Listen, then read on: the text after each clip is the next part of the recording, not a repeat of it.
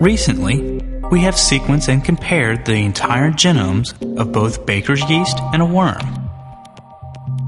The genes used by the yeast, a very primitive organism, are primarily those that deal with the core biochemical functions that all organisms must perform. It was expected and proved true that the worm contains most of these same genes. But the reverse is not true. Since the worm is a more modern creature than the yeast, the worm genes that deal with multicellularity are certainly absent from the yeast.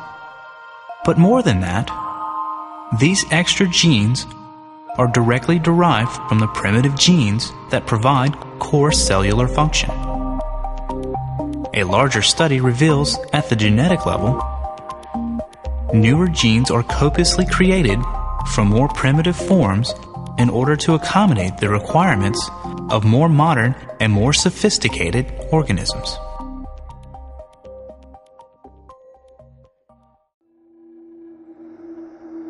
Some proteins are found in every living eukaryote on Earth fruit flies and bats, octopi and hippos, protists and humans. One such protein is cytochrome C.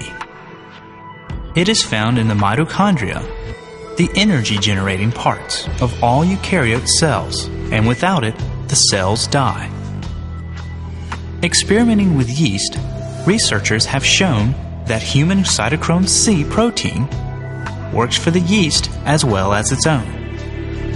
Indeed, they have substituted genes from fish, birds, horses, insects, and rats into the yeast as well, and all of these genes produce cytochrome C proteins that work for the yeast too.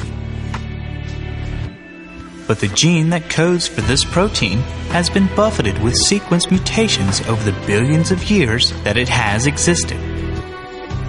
Essentially, all of these mutations are silent. Null sequence sections inserted in the gene that do not change the protein that is built from the amino acids based on these genes. But these mutations do tell the genealogy of the owners. For example, humans and chimps have exactly the same amino acid sequence for this protein. It hasn't mutated in the 6 or 7 million years since our lines separated. And our common gene is at most 10 amino acids different from all other mammals, confirming our close relationship with other mammals. The differences increase as we step further back in time and further from our own branch on the tree of life. The yeast itself has 51 amino acid differences from that of humans and chimps, and is one of the most distantly related organisms from humans having separated from our branch over a billion years ago. Researchers have discovered another point about cytochrome C protein it is somewhat easy to make other proteins that serve the same function. In fact, there are more possible proteins that can perform this function than there are atoms in the universe. So, why do all organisms on Earth use the same version? The answer is simple, really. We inherited the one we use from our common ancestor.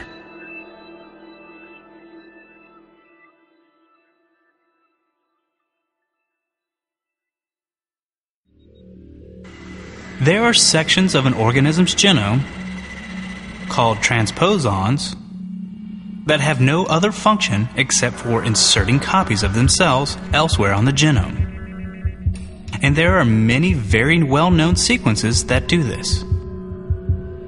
Two such sequences are SINEs, or short interspersed transposable elements, and LINEs or long interspersed transposable elements.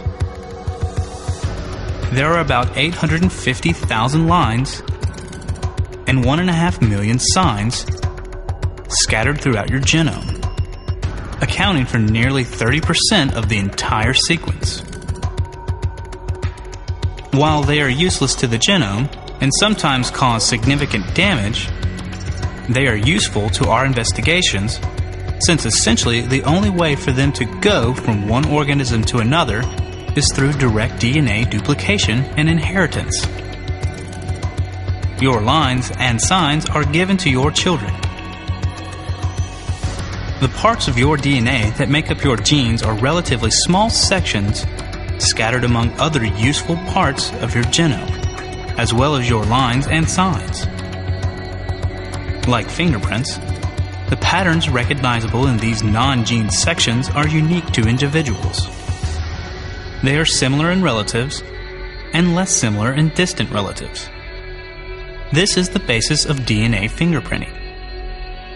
And since these sequences are passed down from parent to child, finding the same sequence in the same place in two different organisms is direct evidence that the two organisms have a common ancestor. Biologists have used this idea to demonstrate exactly how different species are genetically related. Here are two examples. Three different identical SINE sequences are found in the same genome location of whales and hippos, which are closely related, while camels and pigs, which are not closely related to whales and hippos, do not have the same sequence. The most numerous SINE element in your genome is called the ALU. In the human alpha globin cluster, there are seven ALU elements. And each one is shared with chimpanzees in the exact same seven locations, guaranteeing a common ancestor. When ALU elements are deposited on top of other ALU elements, the markers become a chronology of development very recent human ALU sequences have been used to trace historic and prehistoric human migrations. Since some individuals have new ALU insertions that other individuals lack.